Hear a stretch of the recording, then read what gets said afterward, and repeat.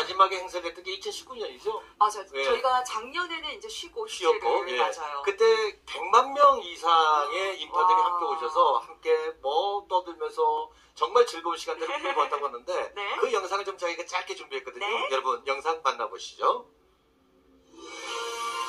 바닷물이 사그라들고 파도가 잠잠해지면 드러나는 진도 신비의 바닷길.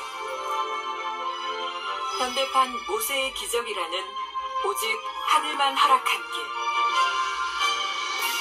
서로를 의지하며 한 발 한 발 내딛는 신비의 동행길에 당신을 초대합니다.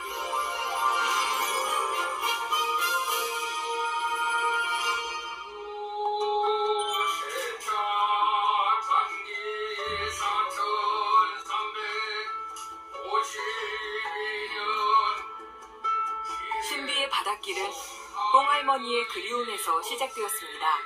호랑이를 피해 서로 각기 다른 섬으로 헤어지게 된 뽕할머니의 가족.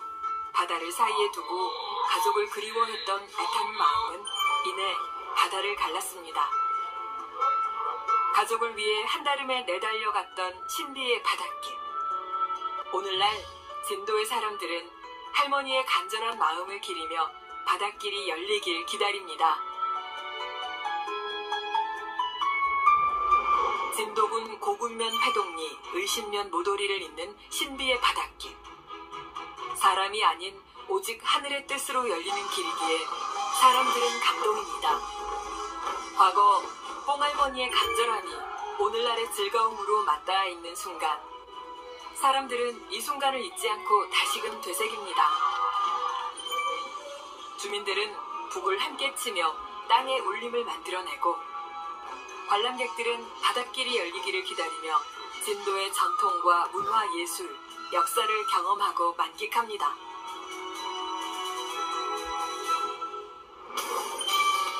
섬과 섬을 잇는 진도 신비의 바닷길은 과거와 현재를 잇고 전통과 현대를 잇고 사람과 사람을 잇습니다. 신비의 바닷길 축제를 찾은 방문객은 약 53만 명. 그중 약 3만 명이 신비의 바닷길을 체험하기 위한 외국인 관광객입니다. Welcome to!